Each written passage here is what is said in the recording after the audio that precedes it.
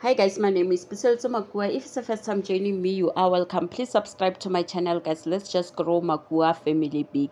Uh guys, today we're just here to talk about Kelly Khumalo and what's it's happening on social media and in a court case of Senzo Meyiwa, guys.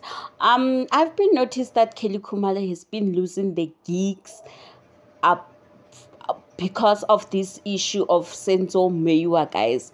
Um, when we do remember last week in court when they're revealing the um what they call it, they reveal the cell phone information. Suspect number one and number three and number five were in contact with Kelly Khumalo before and after the incident happened in the Khumalo's house.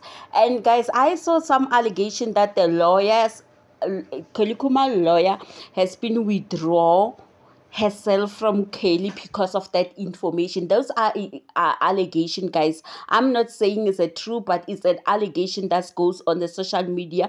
Up to so far, Kelly Khumalo, two gigs has been cancelled, guys.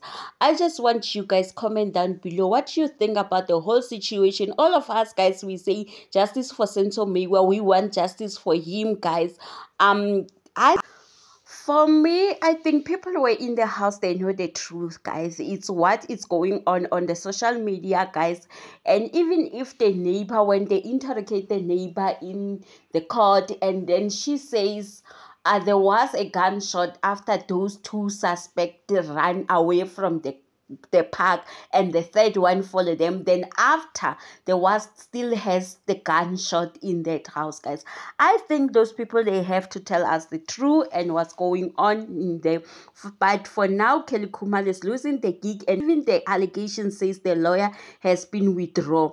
Please guys come comment down below what you think about the whole situation guys. I love you so much. Thank you for your support please if you're still new please subscribe.